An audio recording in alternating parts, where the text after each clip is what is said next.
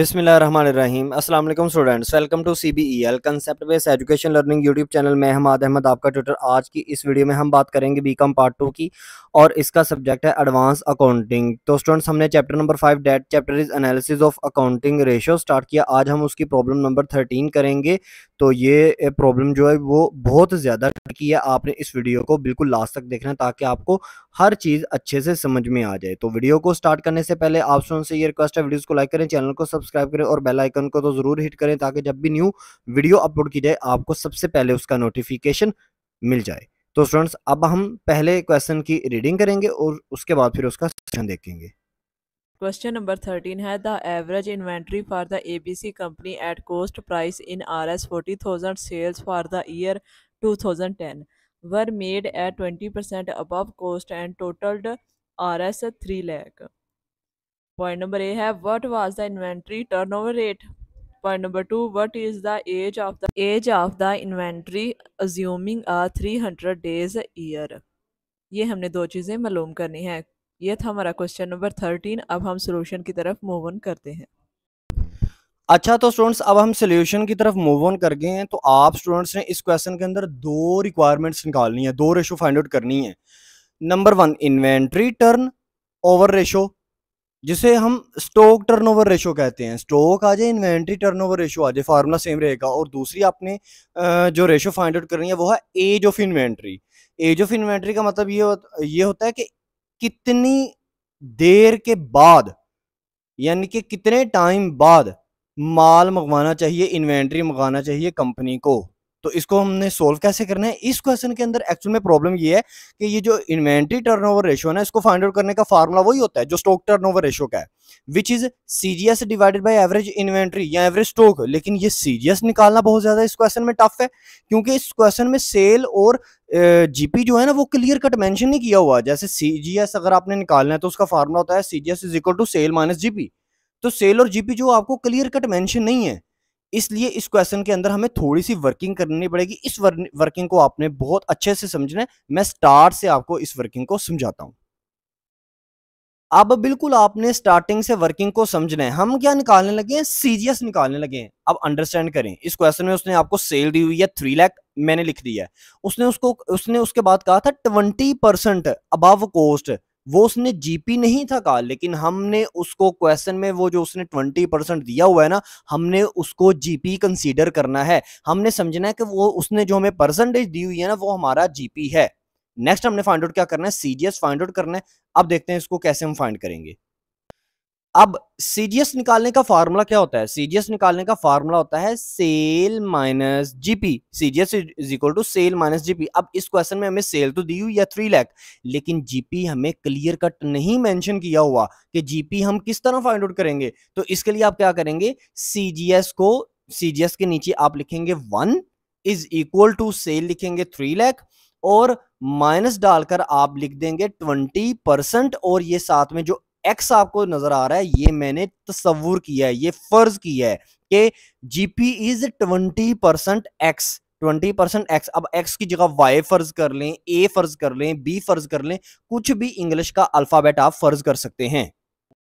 Next step में आप क्या करेंगे? नेक्स्ट स्टेप में आप ये करेंगे वन को नीचे ऐसे का ऐसे ही पुट करेंगे। One is equal to three lakh minus twenty percent X का मतलब है ट्वेंटी डिवाइडेड बाई हंड्रेड साथ में एक्स अब आप स्टूडेंट्स ये सोच रहे होंगे अभी तक कि सर हमें जो जीपी उसने ट्वेंटी परसेंट कह दिया है तो सर हम क्लियर कट ये काम ना कर लें कि हम इस तीन लाख का ट्वेंटी परसेंट ले लेते हैं सर। यानी कि तीन lakh multiply by twenty divide करें हंड्रेड से तो सर जो आंस आए, हम उसको क्या कहें? हम उसको जीपी कह देते हैं और सेल में से वो जीपी माइनस कर लेंगे। तो हमारे पास सीजीएस आ जाएगा। नहीं, इस क्वेश्चन में ऐसे नहीं करना, क्योंकि जीपी ये जो ट्वेंटी परसेंट है, उसने कहा है अबव कोस्ट इसको उसने जीपी नहीं कहा, वो तो हमने खुद कंसीडर किया है इसको जीपी हमने खुद इसको लेट किया है। ठीक है? नेक्स्ट टाइम में आपने क्या करना है?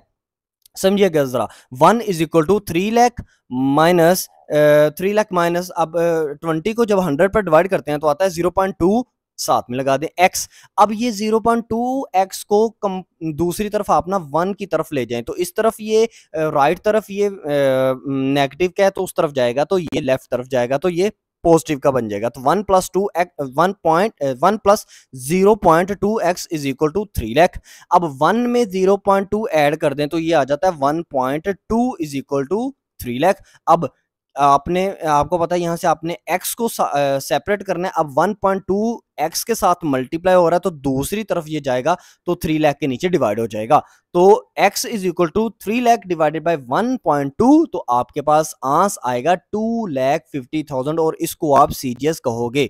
ये है आपका सीजीएस इस तरह आपने सीजीएस निकालना है स्टूडेंट्स इस क्वेश्चन में यही सबसे बड़ी प्रॉब्लम है कि सीजीएस जब आपको कभी भी वो कह देना अबव कोस्ट अबव कोस्ट कह दे तो आपने वहाँ पर जीपी जो है वो उसको इस तरह फाइंड आउट करना है, यानी कि उसके बाद सीजीएस को आपने इस तरह इस तरह फाइंड आउट करना है। अब आप कहोगे, सर जी अच्छा ये बात है ना तो क्वेश्चन नंबर वन जो हमारा था, बिल्कुल इसी चैप्टर का, वहाँ पर भी तो उसने कहा था कि GP is twenty percent of cost तो सर हमने क्या किया था, हमने ना सेल जितनी भी थी ना, हमने उसको multiply twenty divided one twenty किया था तो हमारे पास जीपी निकल आया था। वो उसने कहा था ट्वेंटी परसेंट ऑफ़ कोस्ट, यानी कि कोस्ट का ट्वेंटी परसेंट है। यहाँ पर उसने कहा कोस्ट से अबव है ट्वेंटी परसेंट। यानी कि अगर एक चीज़ सौ रुपए की है ना, बनी हुई सौ रुपए की है तो आप उसको सौ रुपए का नहीं समझना, आपने उसको ट्वेंटी परसेंट ज़्यादा समझना है। तो जब आपको अबव कोस्ट कह देना, तब आपने फिर उसको इस तरह ट्रीटमेंट करना है। तो अब ये हमारा सीजीएस निकल आया हमने क्या करना है, इसको फार्मूले में पुट करना है तो हमारे पास आंस निकल आएगा किसका? इन्वेंट्री टर्नओवर रेशो का। अब आप इन्वेंट्री टर्नओवर रेशो का फार्मूला लिखें। Inventory turnover ratio is equal to क्या है? CGS divided by average inventory. CGS हमने निकाला है। कितना? Two lakh fifty thousand. Average inventory से क्या मुराद है? आपके पास ओपनिंग इन्वेंट्री क्वेश्चन में, आपके पास क्लोजिंग इन्वेंट्री क्वेश्चन में, उसको डिवाइड कर लें टू पर तो आपके पास एवरेज इन्वेंट्री आएगी। और इस क्वेश्चन में हमारे पास एक इन्वेंट्री है, वो है फोर्टी थाउज़ेंड। वो हमारा क्या है एवरेज इन्वेंट्री उसको हम कंसीडर करेंगे। तो वैल्यूज़ को पुट करें two lakh fifty thousand divided by forty thousand आपके पास आंसर आएगा सिक्स पॉइंट टू फाइव आगे आपने टाइम्स लिखना है, क्योंकि जो भी रेशियो टर्नओवर जिसके एंड पर आता है, उसके साथ हमने टाइम्स लिखना होता है। नेक्स्ट रिक्वायरमेंट हमारी क्या थी? एज ऑफ़ इन्वेंट्री यानी कि वो कहना ये चाह रहा है कि ये चीज़ हमने कितने दिन बाद मंगवानी है? कितने दिन बाद हमें इन्वेंट्री यानी कि माल मंगवाना चाहिए कंपनी को?